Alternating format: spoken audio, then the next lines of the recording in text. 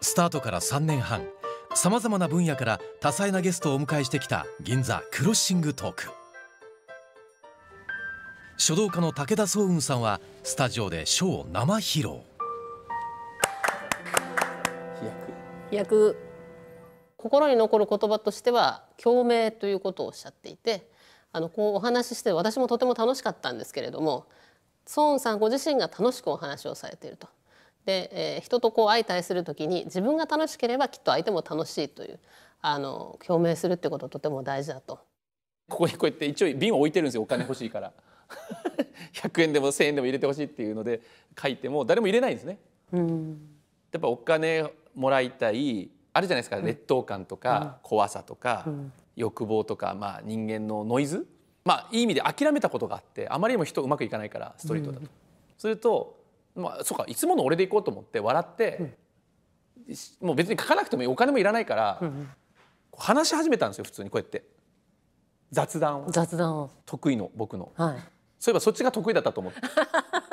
その俺もサラリーマン営業マンだったからお客さんと雑談した時だけ受注してたんですよ。その営業マン時代思い出して自分でこう雑談をしてたらなんか悩み相談とか入っちゃって。で2時間ぐらい聞いたらなんかその後1万円その書いてよって泣いてくれってああれ？と思ってなんかこれあれ？と思ってあ俺の心の問題だと思ったんですよ。うん、自分が大好きだったその量子力学とかその宇宙論とかのそのエネルギー論があるんですけど、うん、完全にこれエネルギー論と一緒だなと思ったんですよ。その自分の木ってエネルギーじゃないですか。はい、だからそのエネルギーが量子的に波動が変わったからそれはこう、M、あの現実で起こるその物質の揺らぎも変わるだろうなっていうのが直感的に俺確信に変わったんですよ。はあ、音楽でいうと共鳴チューニングとか共鳴ってね例えばギターも音ピアノとかギターがずれてたら気持ち悪いじゃないですか、うんはい、自分の心が乱れたまま誰かと接したらやっぱり相手も気持ち悪いし、うん、やっぱ自分がまず気持ちいい、うん、チューニングができていること。で相手にちゃんとハモってるハモれてること。だ一緒にお互いセッションができてれば絶対それに合ったそう思わせてくれる現象が起こるんですよ。その、うん、例えばそれが喜びとか、感謝だったら、感謝させてくれる喜ばしてくれる、まあ、それが物なのかお金なのか仕事なのかっていう形で現れるっていうこの法則が見つかったからそっからはもうただそれだけを伝えるための人になりましたね。壮絶な荒行千日解放業を満行した次元寺住職塩沼良純さん。普段の生活の中で内面を磨く方法を教えてくれましたたった2つだけ実践するだけで内面的に1か月後見違えるような人になってるんですよね。教えましょうか？教えてください。どうしようかな。ぜひぜひ教えてものすごい簡単なんです。誰でも一人の空間一人の時間ってありません？一日の中で、はい、でその時間を自分を律してしっかりと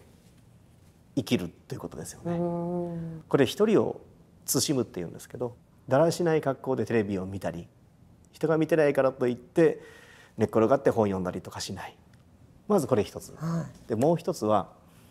人間ですから朝から寝るまであれ？と思ったりイラッとしたりってことありません？ありますね。ありますよね、はい、私もその一瞬こう針がね、うん、触れるんですけどすぐにもう戻すんですよ。ああもう考えないとこ考えないとこ。この2つを努力しているだけで1か月後には別人になってます。ネガティブな方に触れた針をぐんとこう戻すっていうこのコツを教えていただきたいんですが。コツはね、うん、あまり考えない。考えない。うん、深みにはまらない。どうにもならないことはどうにもならないんだと。修行をしている始まった頃の塩沼というのはここにもうたくさんのロープでがんじがらめにされている全部これ執着とらわれなんですよこれ。これをどうやってこの悩みを克服するかということなんですよね。忘れきること捨てきること許しきること。でも今日からできますかって聞かれたらどうですか？絶対できない。頭で分かっても実践できない。だから一生懸命修行するんですよ。番組ではゲストが日々持ち歩く身近な品やこだわりの一品を熱くご紹介いただきました今日はだいぶテーブルにたくさんの品が並んでるようなんですが、はい、仮面ライダーベルトを持ってきています。仮面ライダーベルト、はい、まずこれなんですけど、はいはい、これ何になってるかっていうとですね、うん、バーコードリーダーが入ってるんです。これをですねでこれで変身したってことになるわけです。今度また違うやつなんですけどなんとここからこの情報行くのがここ赤外線通信使ってて、はい。まあ、こういうで、えー最後ですねこっち。これ USB をはい。こう入れますってやって。でこれでこうやって使うんですね。こっちはそもそもの音楽とか音声がこっちに入ってるんです。うん。このカード自体が安いんですよね。うん。でこのミニカーもこっちが喋るんでこのミニカー自体も安いんですね。うん。なので、えー、とビジネスモデル的にいくとこっちはオプション安く売れるんです。はいこっちは逆にこのベルト自体には仕組みが入ってなくてこの USB が高いんです。ベルトを買った方はそのなんかこう変身したければ その高い方のその USB を買わないとまあいけないっていうビジネスモデル的にはちょっと変わってるわけですね。ここ違うんですねなるほどなるほどでおもちゃ業界もそのビジネスモデルも含めてん。すごく進化してるんで非常に勉強になるなと思って今日はお持ちしたという流れでございます。これです。何ですかそれは？これはアブローラーっていうものでアブローラ。ーはい。健康の思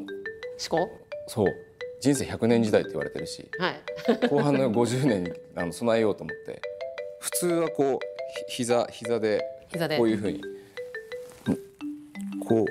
うやると結構効くんですよね。なかなかこのあの下腹あたりがあ立ってやるやつを挑戦し始めてあはいうわーすっごい。うわっていう風な感じでこれ気をつけてもらいたいのはこう1回目やるとドンといって歯を折る人もいるんで、ー良い子は真似しないようにお願いします。はい、最後に時代を生き抜くヒント。ビジネスパーソンへのアドバイス。自分の意見とち違う意見っていうのをむしろ大事大事にするというか少なくとも聞く listen to 大きな流れっていうものをこう抑えながらあの自分が真ん中にいればですねマイナーなことは少し触れても構わないと思うんですね。やっぱ若い方に勇気を持たせてチャレンジさせてあげるっていうのが経営者の仕事じゃないかと思うんですけどね。えー横に動ける人材になるということです。この会社ダメだったら隣で行こうと、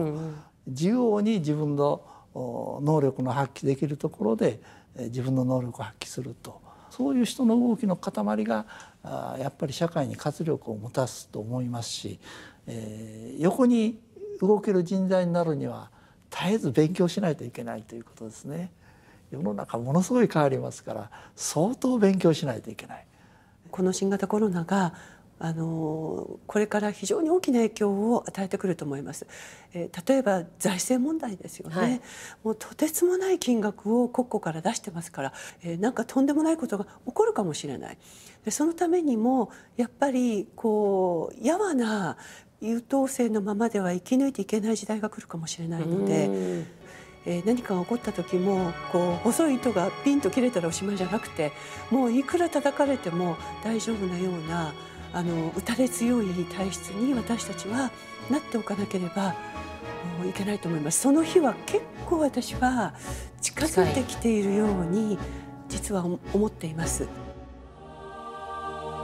銀座クロッシングトークで対談させていただいた皆様がやはり非常にポジティブであの未来を信じていらっしゃるというところがあの非常に勉強になりましたし、まあ、我々がどうにもできないことっていうのもあるわけですけれどもただそれを変えていく未来はあの自分たちの力で作っていくことができるというあのメッセージというのをですねあの多くの方々から感じることができましたので未来を信じてですねポジティブに私も活動していけたらなというふうに思っています。